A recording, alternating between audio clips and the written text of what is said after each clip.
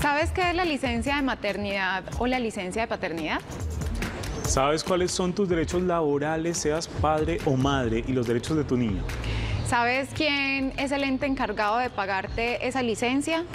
Pues si no sabes nada de esto, estás en apuros. Bienvenidos.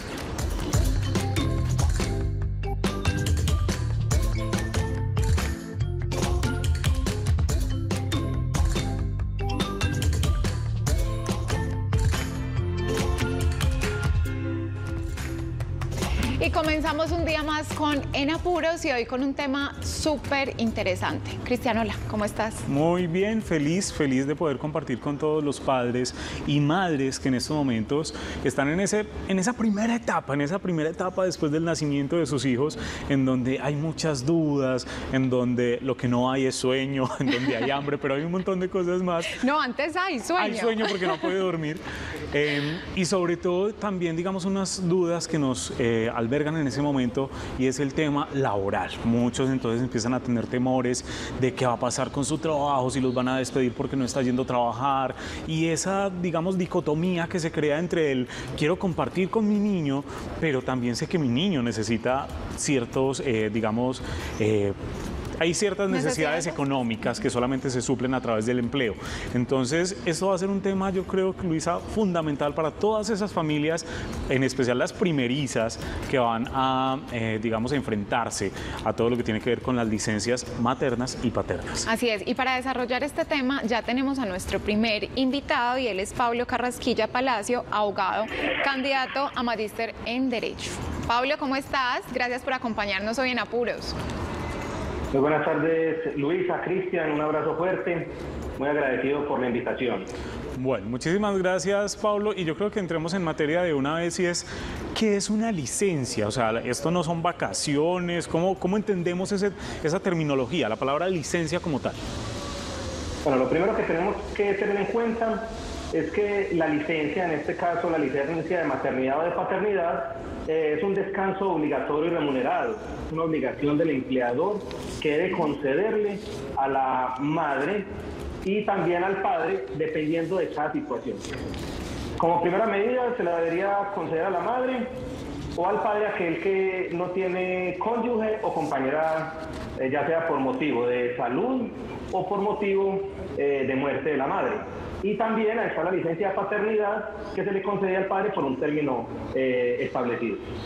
Pablo, ¿a partir de qué momento comienza esa licencia? A ver, a ver, por ejemplo, yo estoy trabajando, estoy en embarazo, me falta una semana, pero en esta semana me empiezo a sentir súper mal, ya no puedo ir al trabajo, ¿me comienzan a contar la licencia desde este momento o es a partir del nacimiento del bebé o cómo funciona o en ambas partes puede funcionar? Perfecto. Eh, mira, lo primero que tenemos que entrar a revisar es el tiempo de la licencia. Para las madres, eh, actualmente la licencia de maternidad está concebida para que sean 18 semanas, la cual va a iniciar establecida por la ley una semana antes, por lo menos una semana antes del parto. Entonces, en esa situación se tendría que disfrutar una semana antes, la primera semana y las siguientes 17 semanas posterior al parto. Situación o por situación médica, el médico podría ordenar que se haga incluso dos semanas antes del parto y las otras 16 semanas con posterioridad. La situación también varía en aquellos eventos donde sea prematuro. Entonces, se gozan las semanas normales y se le aumentan a las 18 semanas posteriores al parto. Mm, ok, yo tengo también acá una duda, Pablo, y eso es, digamos, lo que acabas de explicarnos es de cara a las mamás. Pero, por ejemplo, en esa primera semana también que muchas mamás de pronto tienen un embarazo de alto riesgo o tienen ciertas complicaciones y los padres queremos estar presentes, eh, podríamos tener derecho también, digamos, como a un tiempo de, digamos, ante en antelación a ese embarazo que ya van a hacer o cómo se, cómo se trabajaría. No, el padre ya tendría que acudir a otra figura que sería entonces la licencia por grave calamidad doméstica. ¿Cuál es la situación? Que esa licencia de grave calamidad doméstica es incompatible con la licencia de paternidad que obviamente tiene derecho el padre. Entonces, la licencia de paternidad va a entrar a disfrutar el padre al día, pues, al momento del parto del hijo. Y tendrá que disfrutarla entre los 30 días siguientes, obviamente, al parto. Pablo, eh, hace pocos días conocimos que esa licencia para los padres se va a ampliar. Eso ya comenzó a regir, inclusive tengo acá el nombre, proyecto de licencia parental compartida, que la idea también es como esa corresponsabilidad del papá con la mamá en cuanto al cuidado del bebé en esos primeros días de vida. Perfecto, no, mira, esa licencia o esa ley todavía está en proyecto. Lo que nos anunciaron los medios de comunicación fue que ya estuvo en segundo debate en la Cámara de Representantes, ya iba a pasar a los dos debates en, la, en el Senado de la República para que como consecuencia de esos dos debates se haya aprobado, este ya sea ley de la República. Pero sí podemos dar unos apuntes. Sí. Ese proyecto de ley trae cuatro figuras, ¿cierto? O va a tocar cuatro situaciones. Por un lado, va a modificar el tiempo de licencia de paternidad. Va a pasar entonces de ocho días hábiles a ocho meses, ¿cierto? Otra de las figuras que trae es la licencia paternal, eh, perdón, licencia parental compartida. Eh, a ocho semanas, sí, de ocho días hábiles a ocho semanas. Muy bien. Y también trae la figura de la licencia parental compartida. ¿Qué es lo que busca esta figura de la licencia parental compartida? Es que los dos tanto padre como madre, se pongan de acuerdo para disfrutar. Se sumen las semanas para uno y para otro y que disfruten de acuerdo a lo que ellos establezcan, pero con una condición. La madre tendrá que disfrutar por lo menos 12 semanas y el padre tendrá que disfrutar por lo menos 6 semanas. Ya, en las otras semanas de más es cuando se van a poner de acuerdo. ¿Qué es lo importante acá también resaltar? Que no se va, no se puede, no puede ser eh, al mismo tiempo, sino que la disfruta uno y posteriormente la va a disfrutar otro. Pero ahí me perdí. Hay otra figura, ah, dime. Ahí, me perdí. ¿Cómo, ¿Cómo, se va a disfrutar entonces? Eh, se repartirían las 18 semanas que tiene la mamá normalmente. O sea, esas 18 de ella se pueden repartir teniendo ella presente que siempre va a tener 12 semanas. O sea, las otras 6 son las que se comparten se van a sumar las 18 de la madre con las 8 del padre, ¿cierto? Ah, ya. Y la madre tendrá que disfrutar por lo menos 12 semanas y el padre por lo menos 6. En, frente a ese número de semanas, que sobre es cuando va a llegar el acuerdo de ellos a ver cuánto va a disfrutar uno y cuánto va a disfrutar el otro. Bueno, pero maravilloso. Súper, no, y digamos que da también la posibilidad de que el papá pueda estar presente no solamente en los cuidados que requiere el niño, sino que requiere la mamá también.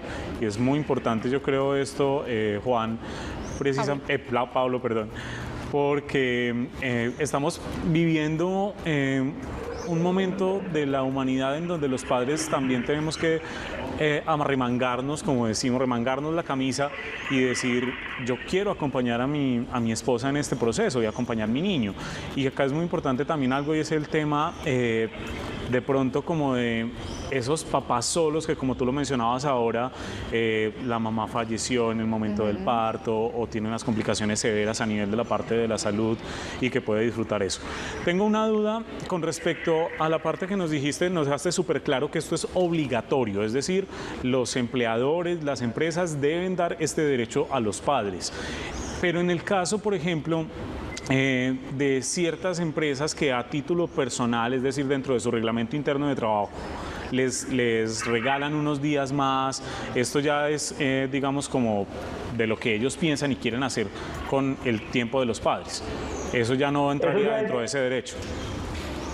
Perfecto, sí. Cristian, eso ya es discrecional del empleador, ¿cierto? Muchas empresas tienen unas prestaciones adicionales que no lo ordena la ley, pero que ellos libremente se lo quieren reconocer a sus trabajadores. Pero acá quiero terminar el puntico de ahorita, en el proyecto de ley que habíamos hablado, hay otra figura también muy interesante, se llama la licencia parental flexible de tiempo parcial.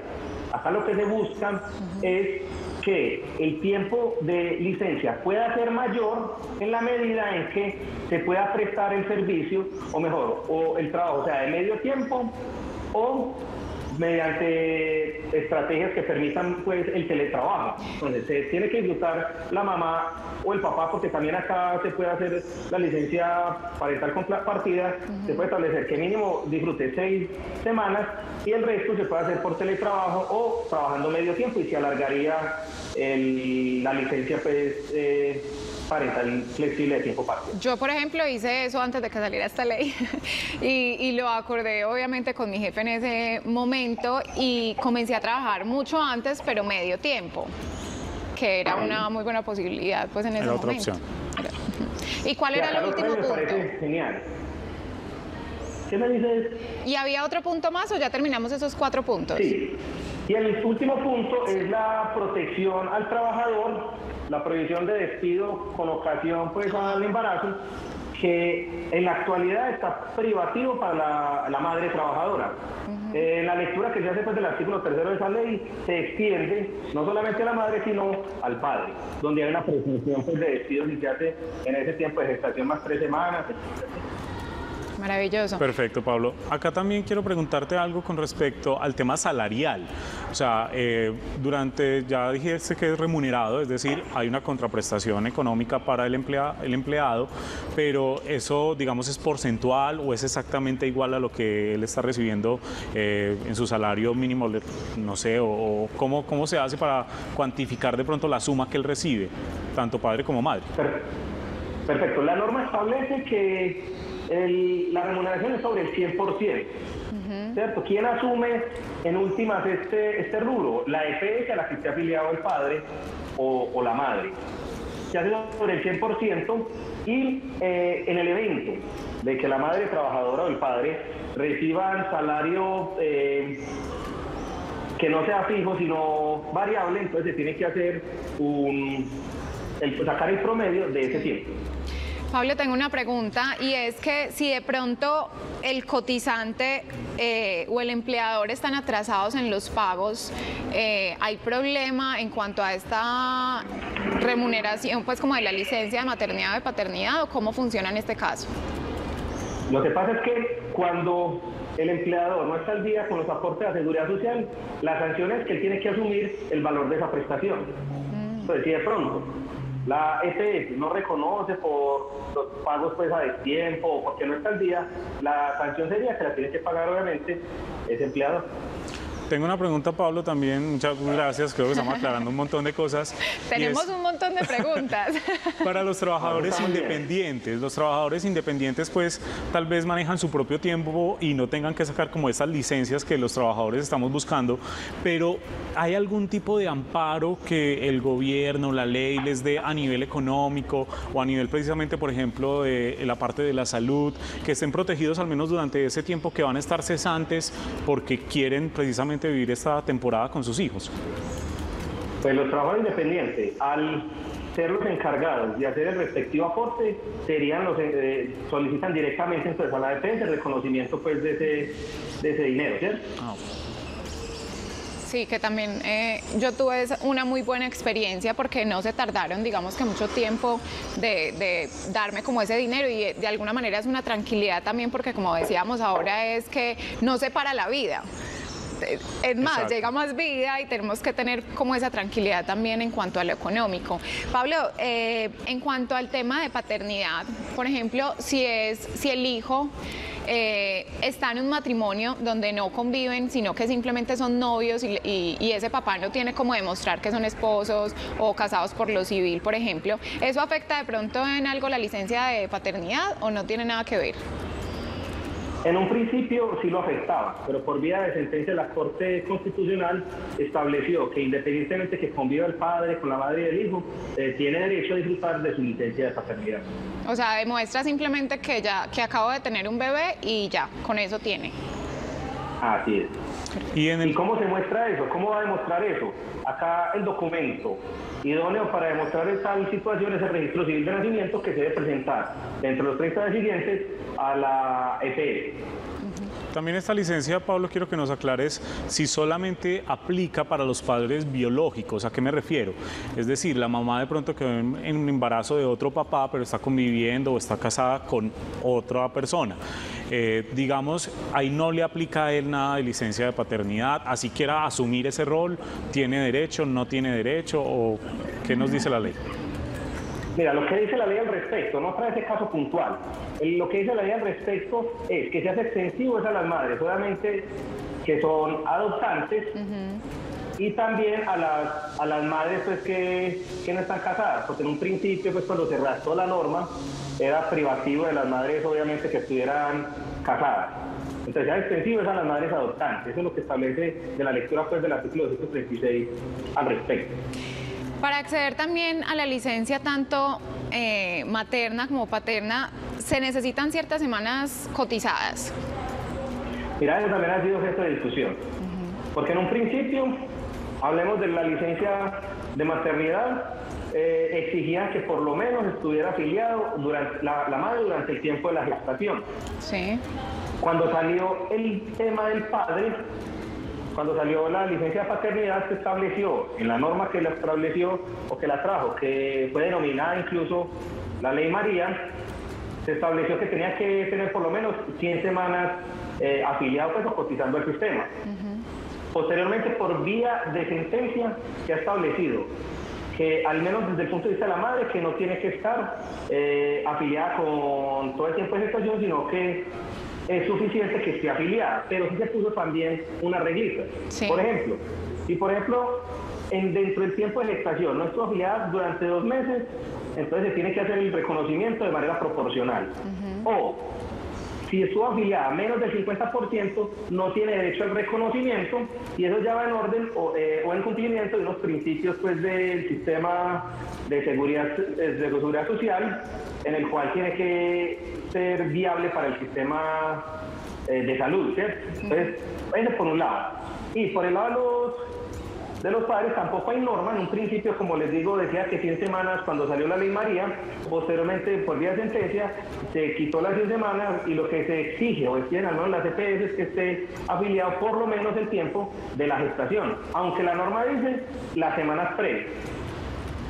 Ah, bueno, entonces, como, como todo lo jurídico a veces enreda un poquito ahí la cosa, ¿cierto? Que, que solamente cuando estamos en esa situación es que empezamos a resolver dudas. Pablo, eh, digamos que yo sé que muchos padres que están ahí conectados tienen inquietudes y a mí me gustaría que a través de esa experiencia eh, en la notaría, eh, de esos casos frecuentes que llegan, obviamente referentes a este tema, ¿qué nos puedes compartir para que no se nos quede algo por ahí en el aire para todas esas personas que están conectadas? No, ahí lo importante es, primero, que validar y hacer seguimiento. Si bien es una obligación del empleador, uno como trabajador también tiene que hacerle seguimiento a que efectivamente pague las prestaciones sociales, no solamente por el reconocimiento de esta, de esta licencia, sino también porque obviamente la cobertura en salud es muy importante y sobre todo las madres pues que están en estado pues de embarazo. Lo otro es poner especial cuidado a esa norma que está en proyecto, que es muy interesante. De hecho, para eh, el acuerdo, se tiene que hacer un acuerdo para el caso de la licencia paternal parental compartida, tiene que hacer un acuerdo y la norma pues en su borrador establece que se hace por vía de declaración extrajuicio. Entonces hacerle seguimiento porque ese sería obviamente una de intervenciones directas ya desde el punto de vista notarial en ese trámite eh, de seguridad social. Pablo, muchísimas gracias y yo creo que nos queda pues también una conclusión y es que cada caso es muy particular, ¿no? Porque cada familia también es particular, eh, los contratos también muchas veces son particulares, sabemos que muchos podemos ser empleados, pero eh, se maneja una infinidad también, digamos, dentro de todo lo que es el ramillete jurídico. Eh, ¿Cómo podemos de pronto indagar más? ¿Dónde podemos contactarte? ¿Cómo podemos comunicarnos contigo o con algún asesor precisamente dentro de esta parte jurídica para las familias? Que en estos momentos tienen de pronto esa fugia. Claro que sí, muchas gracias primero por la invitación, segundo lo que dices es muy cierto, cada caso es especial, ¿cierto?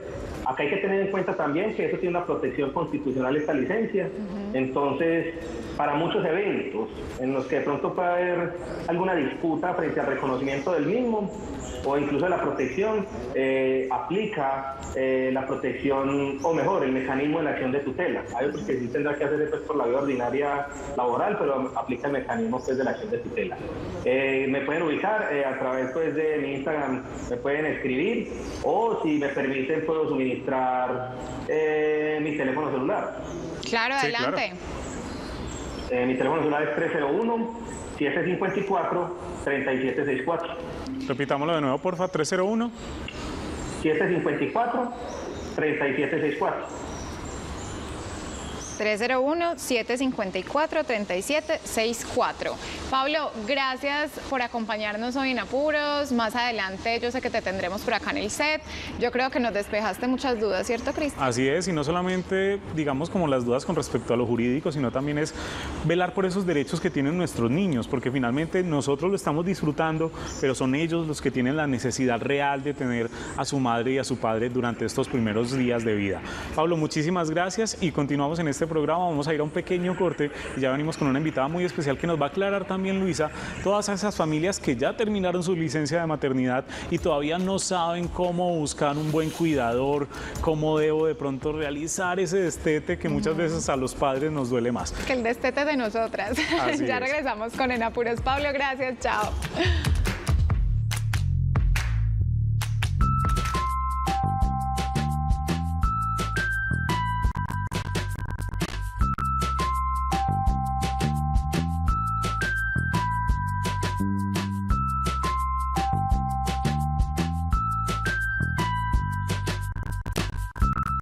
Buscar un buen cuidador puede ser una tarea estresante para los padres. Es por esto que en Enapuros preparamos una serie de elementos que debes tener en cuenta a la hora de tomar la decisión. Lo primero que debes definir son las necesidades de tu pequeño. No será igual un recién nacido que otras edades. Para ello realiza una lista de prioridades de cuidado. Ten en cuenta la alimentación, su seguridad, actividades físicas o escolares o si requiere cuidados especiales. Una vez elaborada la lista, busca la persona más idónea para esta tarea. En lo posible, ten en cuenta factores como la educación o experiencia al cuidado de menores, la forma en que se comunica con ellos, que tenga ese equilibrio perfecto entre ser exigente y divertido. No te quedes con una sola opción entrevista varias de ellas con preguntas como ¿Cómo tomas la temperatura de un bebé? ¿Qué harías si el bebé llora porque le están saliendo los dientes? ¿Sabes qué tipo de alimentos se pueden ofrecer en cada edad del niño? ¿Qué harías en caso de un accidente doméstico? No es una tarea fácil, pero recuerda que estás dejando a su cuidado tu mayor tesoro. Y aunque todos quisiéramos encontrar nuestra Mary Poppins, los niños son niños y son inevitables las novedades en sus cuidados.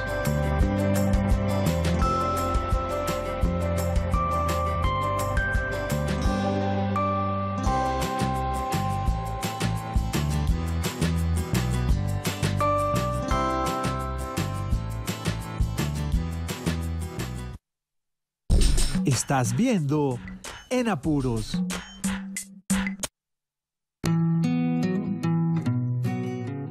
El origen del sufrimiento es el apego que crea la ilusión del ego. Buda.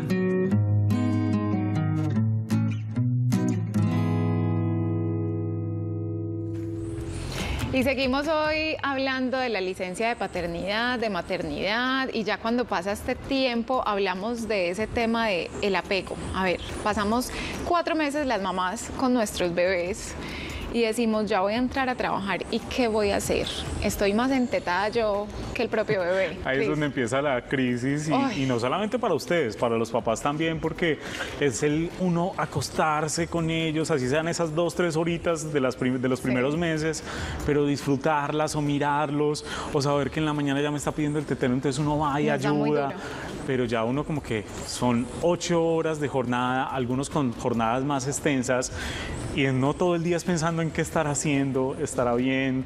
Y bueno, esa crisis yo creo que todos los que ya somos padres la hemos vivido y precisamente por eso tenemos una profesional que nos va a ayudar a ese proceso de, de desapego. Tenemos a Gloria Incapié, Gloria es magister en psicología clínica, es magister también en educación y talento humano y magister en terapia de familia y precisamente por eso es que la traemos el día de hoy acá.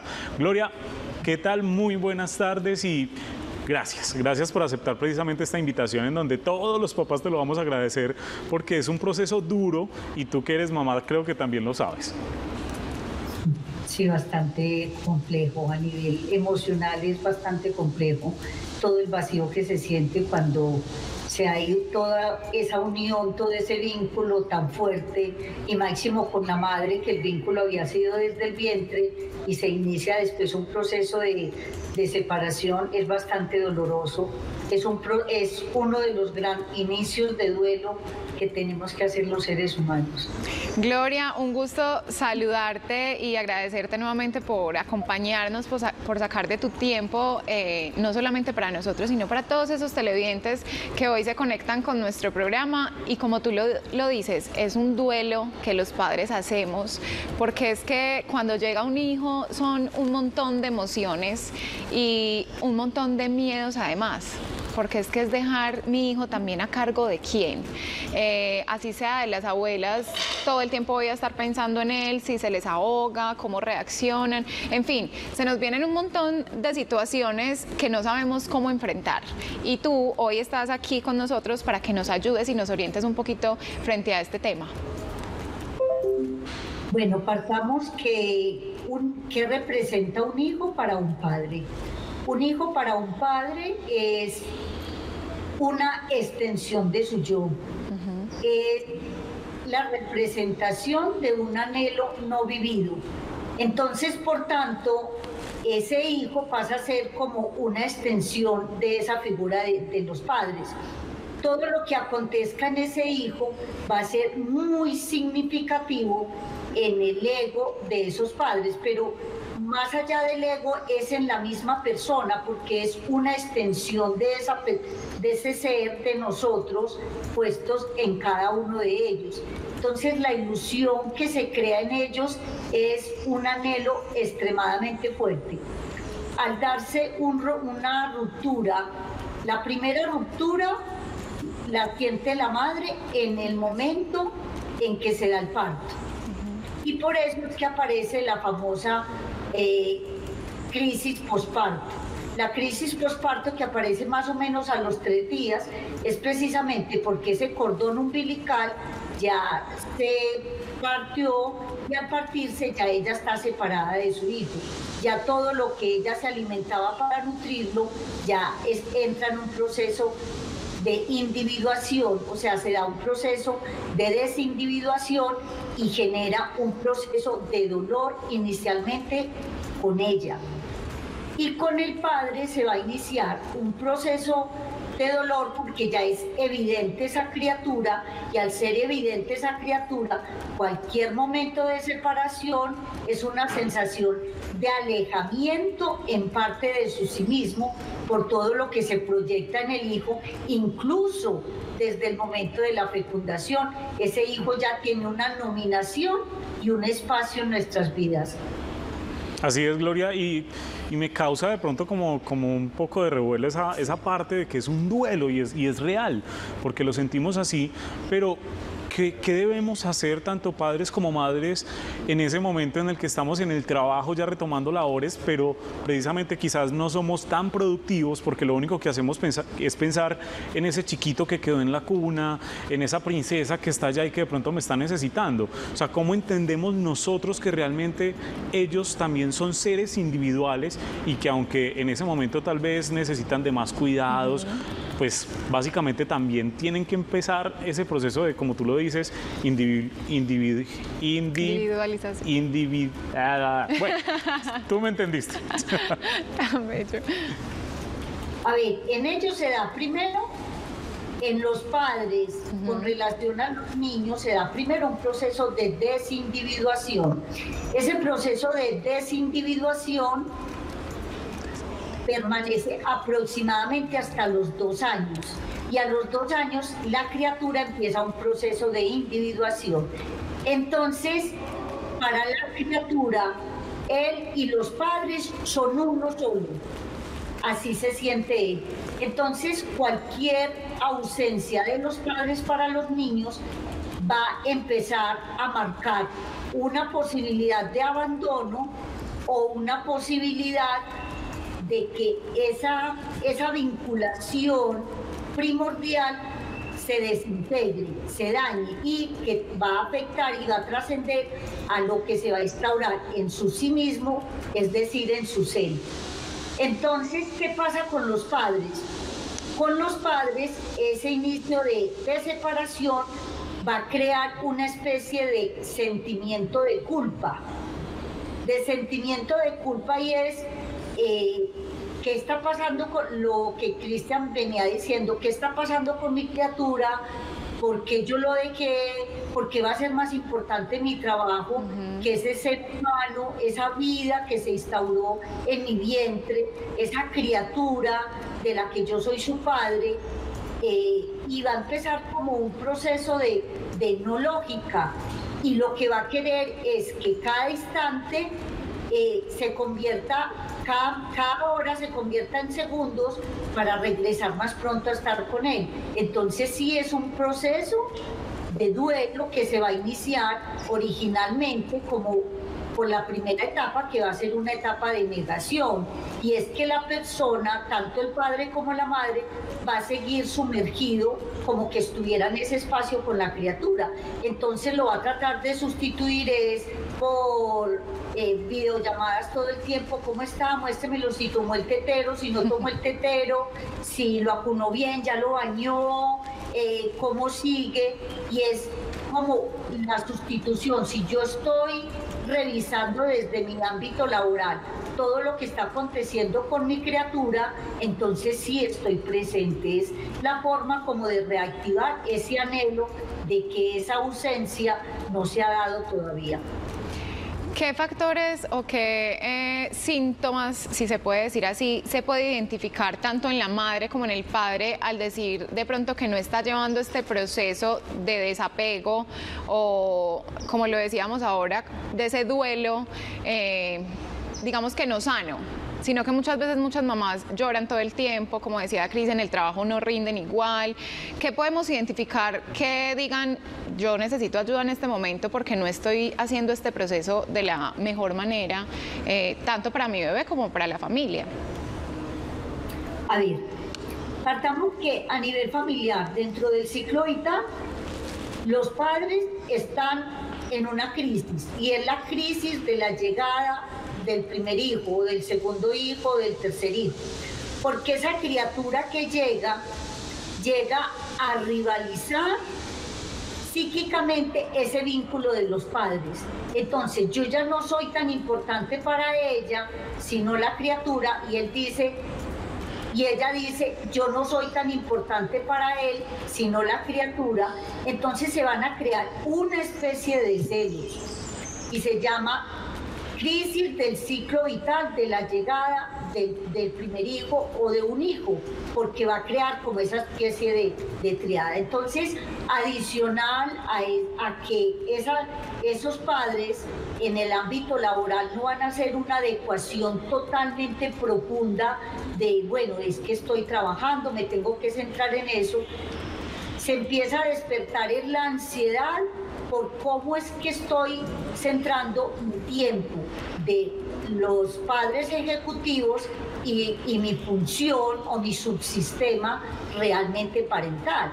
Entonces ahí es donde van a empezar un estado de tensión, tanto en el padre como en la madre, aunque la madre es un poco más fuerte porque ella está todavía en ese proceso de la lactancia y, porque ella es la que se siente en esa eh, separación, va a ser más fuerte ese dolor en ella que ese dolor en el padre, sin negar que el padre también va a sentir mucha angustia. Entonces las consecuencias a nivel psicológico puede ser un inicio de estrés, un, cuadro de ansiedad, eh, inclusive en la madre esa depresión postparto se puede reactivar nuevamente y complejizar con una ansiedad generalizada porque se siente que aparece el miedo de no ser una buena madre o de no ser un buen padre.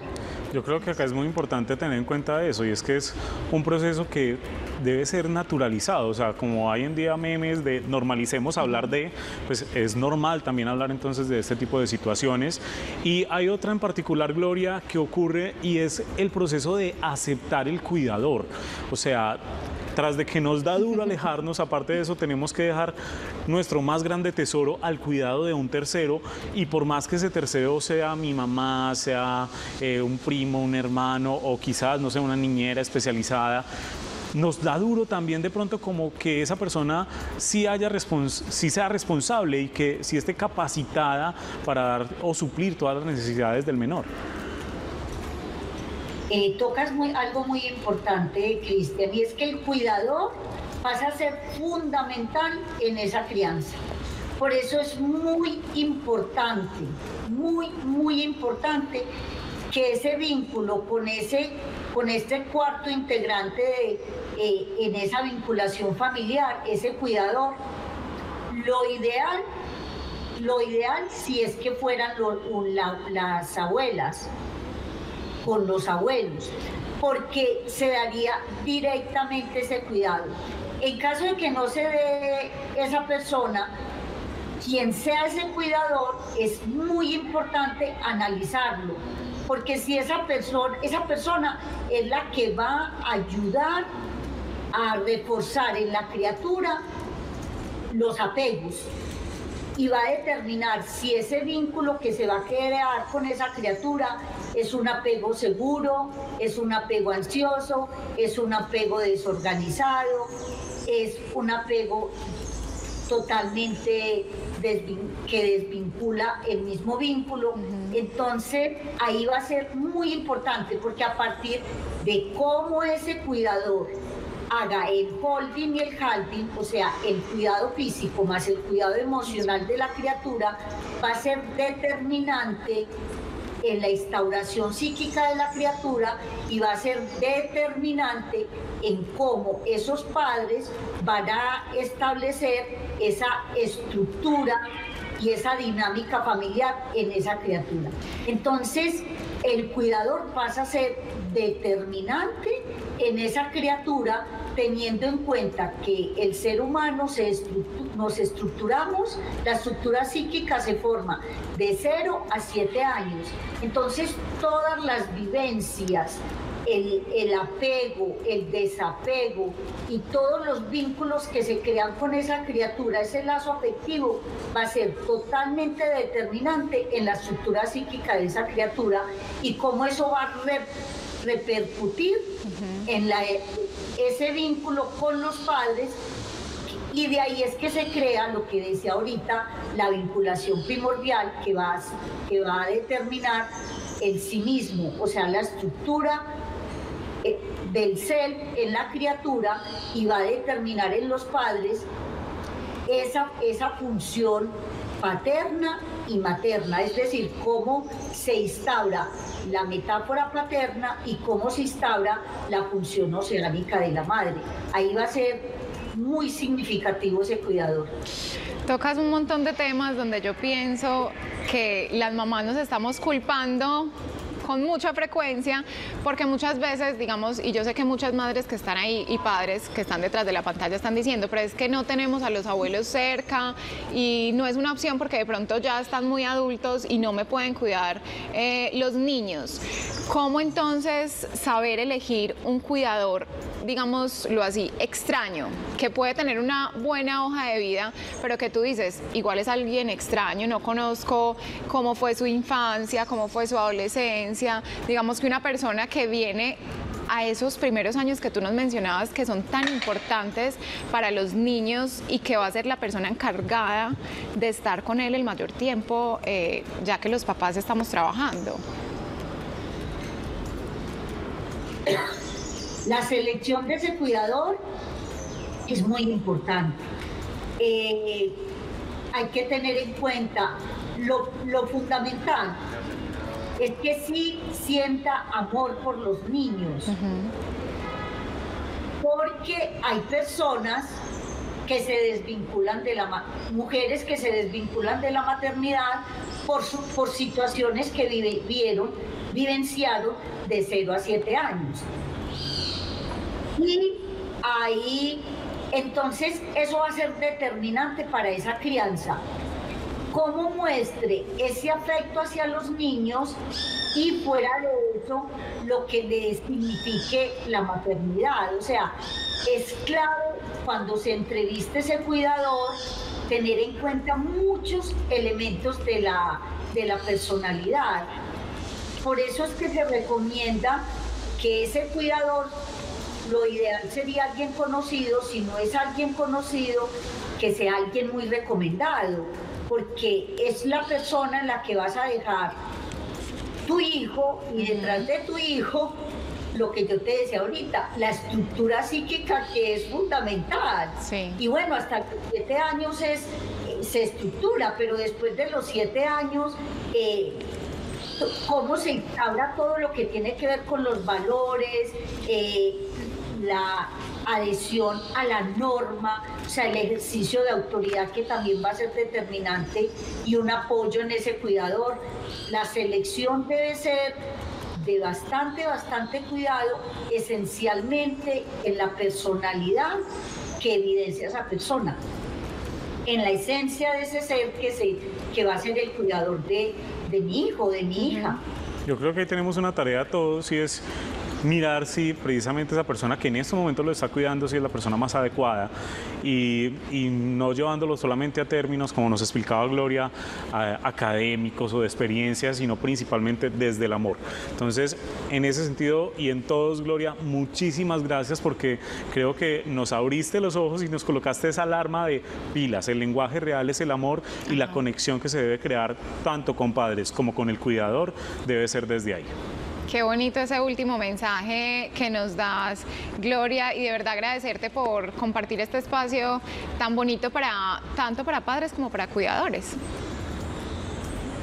Sí, pero tener muy en claro, por último, la última recomendación sería de que ese vínculo de pareja es determinante para cómo se instaure ese hijo. Si ese vínculo de pareja está basado en el amor, la comunicación, la confianza, el respeto, eh, la participación de un proyecto de vida juntos, ese simbolismo de esa paternidad va a ser determinante en cómo se inscriba esa criatura en su existencia y cómo determine todo el mundo toda esa base de lo que siga.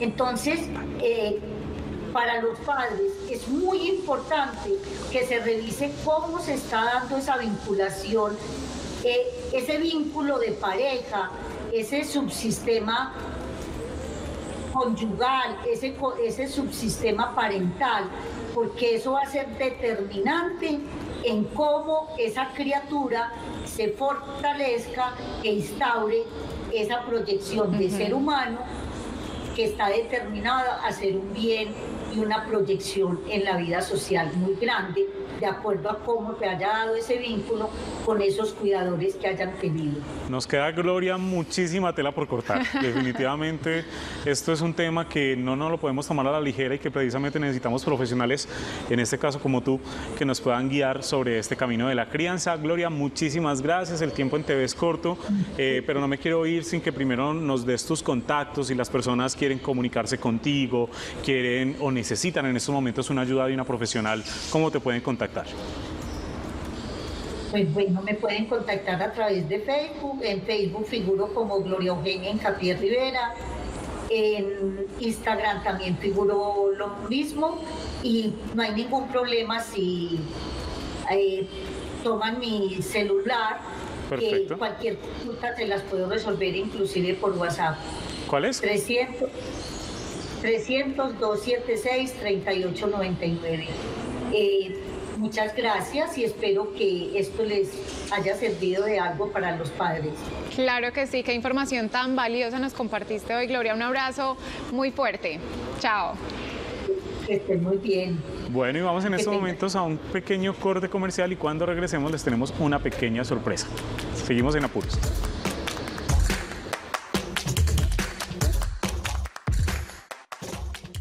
Estás viendo En Apuros.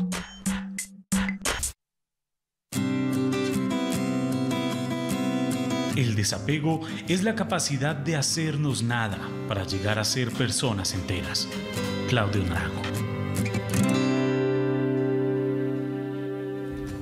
Desapego, pero desapego no es igual a abandono. Eso nos quedó completamente claro. Desapegarnos es colocar ese amor que nosotros tenemos a función de otra persona, como en este caso son nuestros pequeños. Y hablando de pequeños y hablando de licencia de paternidad, tenemos una, una persona que está disfrutando en estos momentos de eso, Luisa. Una persona que queremos mucho, que hoy queremos aprovechar para mandarle nuevamente un abrazo muy grande a él, a su esposa, a Samu y a Valeria que hace pocos días llegó a este mundo a llenar de amor y de felicidad la familia de Juan Pablo, mi compañero de sed, que en estos días me está acompañando Cristian. Gracias por no dejarme aquí solita. no, gracias a ustedes por la invitación y sobre todo a Juan. Vamos a ver ese saludo también que él preparó para todos ustedes. Hola gente en apuros. Eh, perdón que los salude así, estoy un poco trasnochado aquí desde mi hogar, pero quiero presentarles el motivo de mi trasnocho. Esta es la mujer que me trasnocha. Ella es Valeria y me pone a trasnochar a la una, a las tres, a las cinco de la mañana para darle tetero, para darle mimos, para arrullarla o simplemente para contemplarla. Y eso me encanta. Ya quisiéramos los papás poder tener más de ocho días eh, para disfrutar de una licencia completa, así como lo hacen ellas, que tienen tres meses, tres meses para poder compartir con estos chiquitines y darles todo el amor, todo el cuidado y todo lo que necesitan. Así que haré mucha fuerza para que en el Congreso se pueda aprobar la licencia compartida de más de ocho días para los papitos. Así que hagamos mucha fuerza y a disfrutar a nuestros pequeños. Pronto nos volvemos a ver. Pronto estaré nuevamente con ustedes. Mientras tanto, sigan con Cristian y Luisa en apuros.